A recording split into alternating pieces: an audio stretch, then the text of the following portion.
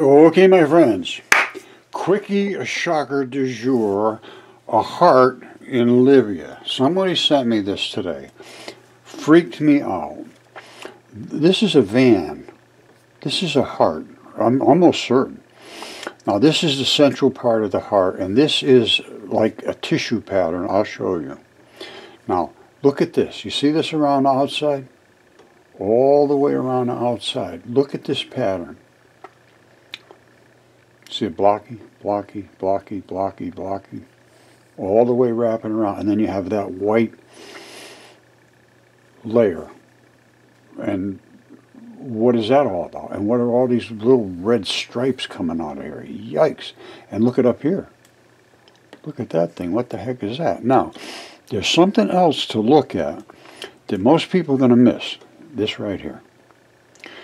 Now, why do I say take a look at that? well, blood makes things grow very, very well. And you can see there's a little circle of blood here. Now, why is this dark? And then this is so bright, brilliantly red. Why is the difference? Inside of a heart, you have vein blood, which is black almost. It's dark. And then you have the very highly oxygenated blood, which is very, very red. And you have all these blood vessels running all over. Let me show you what a heart looks like in actuality. But remember this, all the way around, all the way around you have these little blocky things. You see this? These are all little blocky things all the way around. You see them?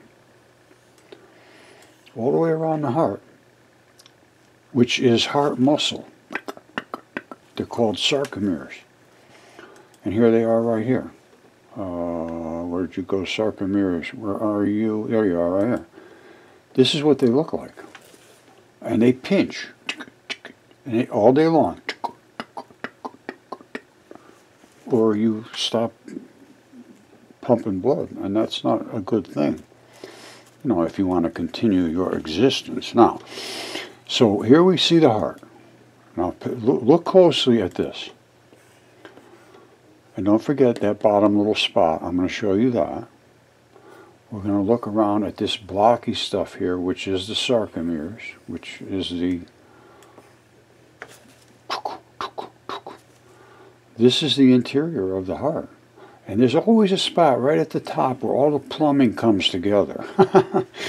and, and, it's almost like you could take the cap off it. And um, that's right up here. That's where all the plumbing comes together at the top. Now don't forget all of these little blood vessels and all that intricacy. Now what do we see in the heart? We see the same stuff. You see the little blood vessels? and you see all the intricacy of everything. And then you see that, don't forget that spot. That's going to be important to remember. That's a really very cool feature. And here it is on uh, uh, the heart. Right there. You see that? That's going to be the spot right there. That's where the blood is at the very bottom. There's a real bloody spot. And that's hanging right over the edge of the heart. You see it? Isn't that cool? yeah, I'll tell you, it's as far as I could determine, that's exactly what we got here. Remember I said there's a spot right here? That's where, and I had a guy, well, I'll show you. You see, that is a friend of mine, Phil Harris. He went out in 15 minutes. I made him a challenge. I said, you go out and see if you can find a mud fossil. In 15 minutes, you can't, you tell me. He found this in less than 15 minutes. He saw a red spot on the side of a big stone. He whacked it with a hammer, and it split right across the plumbing. I'm not kidding you. And it was wet. It was wet with red blood inside. Now, watch this. After an hour or two, this is what happened to it. You see, it started to to um, to deoxygenate, and it went down into the black state. See how it was red before, real red and wet. And this is the plumbing. All the top of the heart has all of that stuff plumbing in it, and he just popped it, and it cracks right along that seam. All right, basically it's right across that seam right there. You get some real red blood, you get some black blood, you get some yellow blood. It's all mixed. because it's it's mixing back and forth between the vein side and the artery side. And I believe this is right up in the area where it's um, that's where it would be. That's the bottom where that artery comes wrapping around there. And that's where the plumbing would be. And there's a big, some artery or uh, uh, vein over there. That's a big vein. And um, I don't know what else is in that area. I'm trying to get the hold of the people to, uh, and I did, to um, see if I can get them to, because he's got a, whole, a ton of other stuff too. But I would like them to do a little research in this area. I'd love to get somebody helping with the research in this area. But anyway, that's um, uh, as far as I'm concerned, that is a heart. All right, now don't tell me there's no no possibility that a heart could be that size. That isn't even big. All right, look at this. This is the breasts of a well-proportioned woman. I'm telling you exactly what it is. It's out in Utah or Arizona or somewhere. And here's what the breasts look like. It's the same exact same thing. That's exactly what it is. And there's all those finely sculpted muscle fibers of connective tissue, which I just showed you. It has eroded all the fleshy, red fleshy stuff goes. Connective tissue is what holds you together. It connects everything together. That's what stays. That stuff is tough. This is just amazing stuff, but it's real. Here's the outside of a stomach. Here's this guy walking on the outside of his stomach. I think this is what they call Vermilion Cliffs. I'm going to show you some more stuff that's and that's real. This is it's totally 100% easily validated. Look it up, Vermilion Cliffs. You see that? That's exactly what you would expect to find in a stomach area. This is the stomach, uh, outside of the stomach. And inside, it's completely saturated with red blood because that's how you transfer the contents of your stomach. Uh, uh Okay, this I believe is an intestinal area because of, you know, obviously it's it's segmented like an intestine would be, but because of this extreme amount of red blood, which is where you absorb all things through your intestines, the stomach would have a similar situation, but it does it's not as absorptive, I don't think, and not as heavily blooded as your intestines would be, especially your small intestine, where almost all of this really initial contact with your food is. And you know, have a lot of blood is transfers a lot of enzymes and bacteria and all kinds of stuff. I mean, very, very, very important to have good digestion, and that's where it happens primarily in the small intestine. Okay, let's just go with this again. Vermilion Cliffs, this is somewhere in the intestinal uh, digestive system, somewhere. I don't know where. But whenever you see a ton of red, that's a lot of red blood. And this is a membrane. And what that is doing is it's, it's transferring stuff from the membrane into the blood or from the blood into the membrane area and probably both ways because you have a lot of enzymes to break down food and they also protect this layer from invasion. That's what bacteria and enzymes do. Very, very important.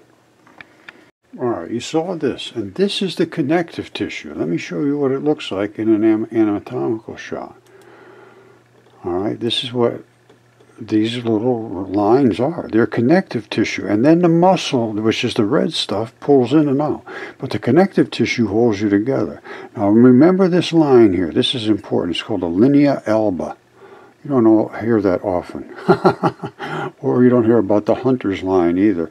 The hunter's line, they used to cut, cut a, they call it a hunter's line, but its anatomical name is linea alba. It separates you from one side from the other. And the way that line is formed is when you are being born, all right, you you come out, you're you're starting to develop in the womb. You come out at a certain number of cells. You're, you're a ball. And at a certain number of cells, it inverts, it's called. And it sinks inside like that, wraps around, and seals right here. And that's the hunter's line. And then inside there, all your organs form. So it wraps around and seals right like that. And then when you die in a mud fossil condition, it splits back open again. I can show that in graphic detail, and it's going to be with a vagina because it's very easy to see, and it will prove that this these caves are vaginas, not just a, you know some oddball cave. You see that? Uh, you know, pretty much most people know what a vagina is. I would hope. First of all, that is the linea alba. That little tiny, you see that very, very thin line there? That's the linea alba. It just cracks right open when you are in a mud fossil condition. The rest of it is quite obviously anatomically exact for a vagina. The next thing is that it's red and pink and all that stuff because there's still a lot of blood flow, and that's why all this green moss is growing. It grows on blood. And this, my friends, is a coffin birth. Look at that face right there. Take your time. Take your time. You see the side here is all bowed out. This is nice and smooth. That's what it should be. This is a coffin birth, and it may be a double, two babies. But this one, absolutely no question whatsoever. That one. Look at the face on that. Now, what is this little ripply looking stuff here? That is the tissue being ripped out as the baby's trying to be forced out through the wall of the vagina. That is actually the same tissue as this, only it's pushed out. There's his face. This is, I believe, is his arm and his shoulder right here. Now, there, this could be another one down here. I don't see why there's any reason for that bump to be there other than another baby. I could be wrong.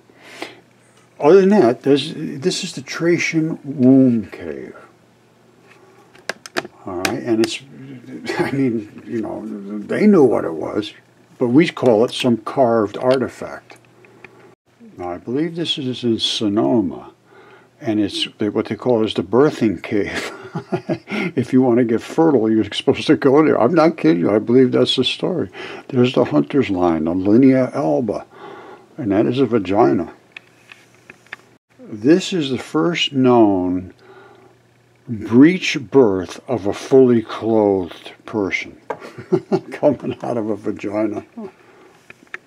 Now, I don't want to give you the wrong impression. There was there was giant men too. I mean, there's a little person standing there. That's uh, well, certainly looks like what it is to me. Now, they not only had Christians or circumcised people. They had uh, pagans back then too. They were, you know, fairly good size. and, you know, they made good use of this. You've heard a story about there was an old man who lived in a penis. I'm sure you've heard that song. Okay, now I got to get back to my light research. I was doing all this light research. As soon as I got this picture, it freaked, this thing just freaked me right out. When I started looking at all of the sarcomeres and you know it, it, has exactly the plumbing and there's a ton of plumbing that goes along with this you see this this is arterial i mean uh, vein i'm sure and this is obviously the red is arterial and the dark is vein vein is used up blood the really bright has that extra oxygen and it gives it a real glow okay so like i said quickie de jour i got to go back to my light research all kinds of things happen in this realm. Listen to this. Look. The universe shouldn't exist according to CERN. universe shouldn't exist, scientists say, after finding bizarre behavior of antimatter. This is what I'm doing now. It, it, it's amazing what has been missed and just totally overlooked. There's no way to, dismiss it, to, to miss it. There's only way to dismiss it. You can't miss. You can only dismiss.